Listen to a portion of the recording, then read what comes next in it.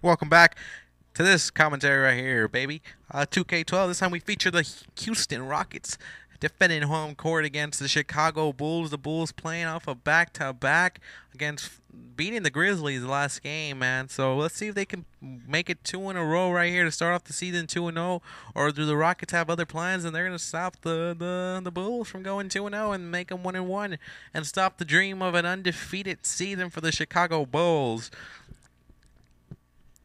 Derrick Rose would be a big factor in this game, folks. But uh, that's right, Jeremy Lin on the Houston Rockets. Remember, fantasy game, fantasy game. Don't get mad at me. Don't don't don't kill me, please. Right here, but look at the dunks. Oh, dunk delicious.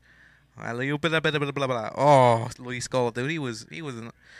Let's just say the Rockets woke up into the fourth quarter, but yet that was still too late but either way, the Bulls did what they had to do, and uh, we they took the game, man. They took the game. Simple as that. This game was a blowout.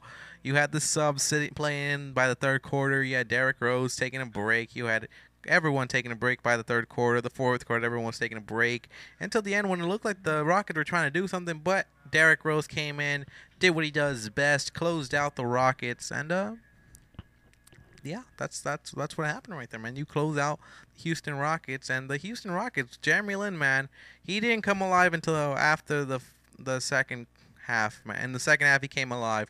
The first half he was terrible, but the second half he came alive, and that's where that's when the points started coming up for Houston. They were doing really bad in the halftime, man. They they were under like 20 points, and usually they're under. You have to be like around 30 to 40 around there.